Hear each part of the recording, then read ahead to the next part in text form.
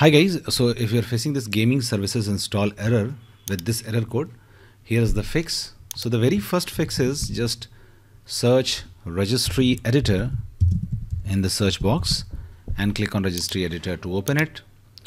Now in the registry editor, you have to go to HKey local machine, then expand system,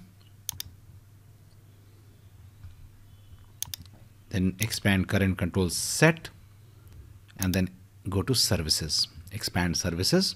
So you have to go to this path. Now in the services you have to find two keys. Okay? That is gaming services and gaming services net. Just right click on them and delete both of them. Okay?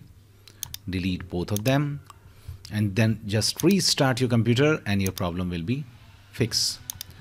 Now if this does not get fixed then there is one more thing which you can do and that is search PowerShell right click and click on run as administrator click on yes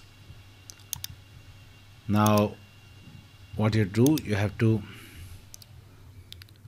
run this code I've given this code in the description of the video. Just copy this code from there, paste it.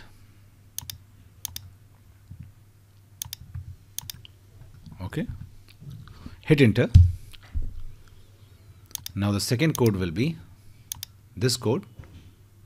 I've also given this in the description of this video. Just copy this and paste, hit enter and the Microsoft Store will open and now try again and your problem will be fixed.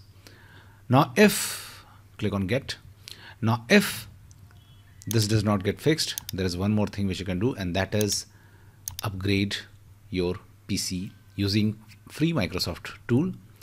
So here's the link. Uh, I have given this link on the description of the video. If you are a Windows 11 user, you can just Google that. Okay, so just go to google.com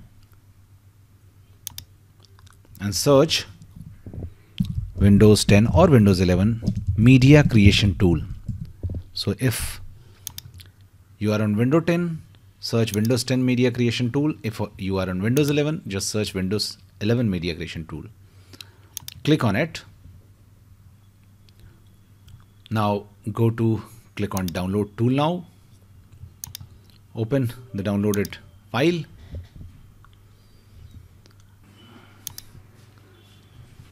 Now when the screen arrives, just select upgrade this PC now. Click on next.